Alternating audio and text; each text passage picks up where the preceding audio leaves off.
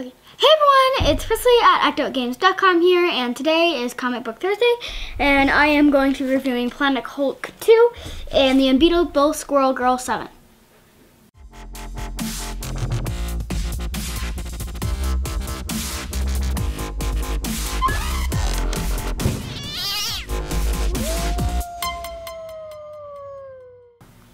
Okay, so let's start with Squirrel Girl, which I highly recommend any of the books in the series. Not specifically this one. This one's really good, but the whole the entire thing is really good. So if you haven't read a Squirrel Girl comic book, do it now. They're amazing. They're all really funny. So it starts out with Squirrel Girl's Twitter feed, and the second page in the book is already hilarious. The second page in the entire book is this and it's hilarious, including this ad. So it's super duper cool. It's actually a Twitter account, so you can go and look at her Twitter account. She's actually retweeted something for me, which was super duper cool. So it's the comic, the story starts out, she's in this computer class, and everyone starts getting mad because a little rodent told one of the students that their teacher was selling grades. So um, everyone starts arguing. Half of the people are arguing and rioting over how their teacher is selling grades. I don't know if he's actually selling grades or it's just a rumor. I'll talk a little bit more about that in a few minutes. And the, the other half are arguing about which database model is the best, which is kind of funny because half the people are rioting over a completely believable thing. I would be upset. I would want to start rioting if my teacher was selling good grades. But the other people are just arguing over which database model is the best and com are completely oblivious that their teacher is selling grades. Or some little rodent told someone that their teacher was selling was selling grades. So they're all arguing, and lots of people are arguing around town, and they figure out that's because of Ratatoskr, who is basically the Norse God of gossip. So uh, Ratatoskr is going around from house to house like some little demented squirrel Santa Claus thing, and she's running around and telling, in either spreading rumors about people that aren't true, or telling everyone the worst things about all these people, making them completely oblivious to the good side. I don't know which one. They're both pretty believable. So everyone starts arguing about random stuff, and since Ratatoskr Oscar's from Norse mythology, Squirrel Girl wants to talk to Thor because he's also from Norse mythology.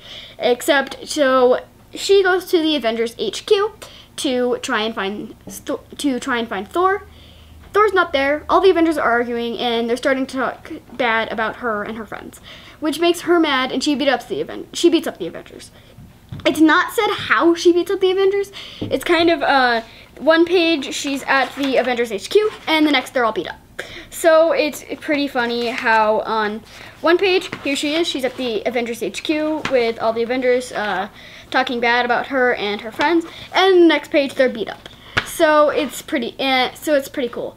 So then she is she talks to Thor, and Thor is caught in this argument between people who like pancakes and waffles, which evolves into an argument about pancakes, waffles, and French toast.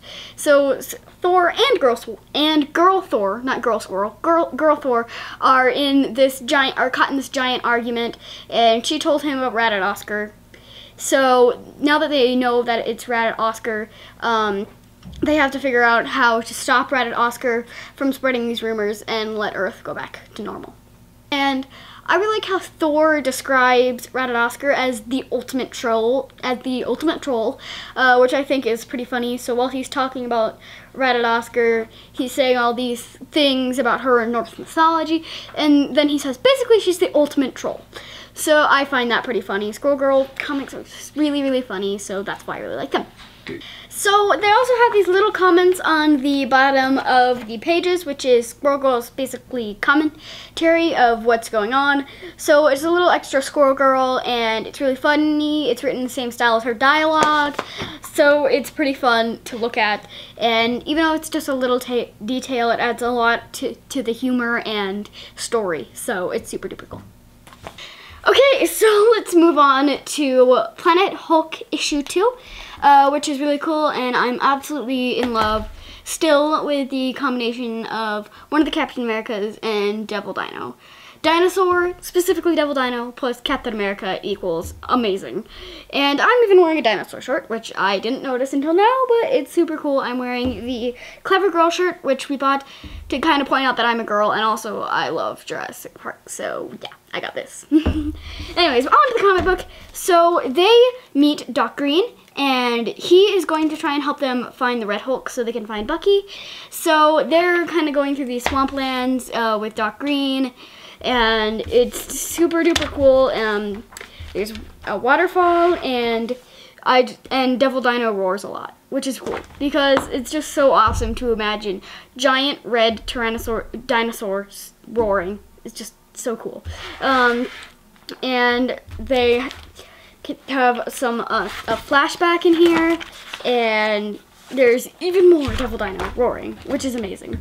And they're and they're keeping going through the Hulk the Hulk Park of Battle World, and as they try and find the Red Hulk, which is super amazing. Like all these characters combined into one comic book is just so cool and I highly recommend it and I'm really excited to see the rest of the Battle World stuff, Secret Wars, because like I wonder what kind of stuff I wonder what kind of stuff will happen and what characters will meet and it's just super cool like just thinking about the possibilities, like endless possibilities happening in Battle World.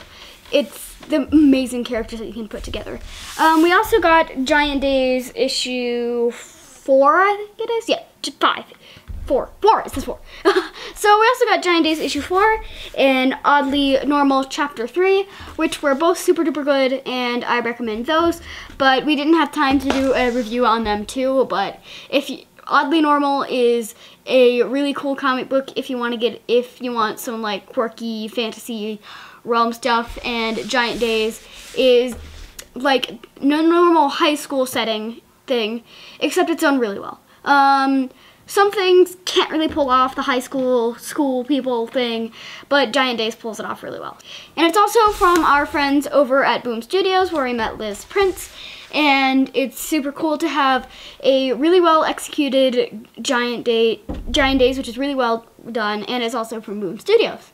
So amazing comic books we got today. Definitely check them out. So yeah, thank you for watching, and I'll tomorrow.